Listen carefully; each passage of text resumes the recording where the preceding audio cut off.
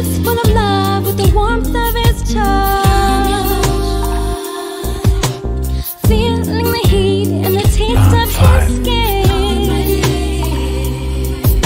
I just cannot hide what I'm feeling inside. The sweet of fate seems to vanish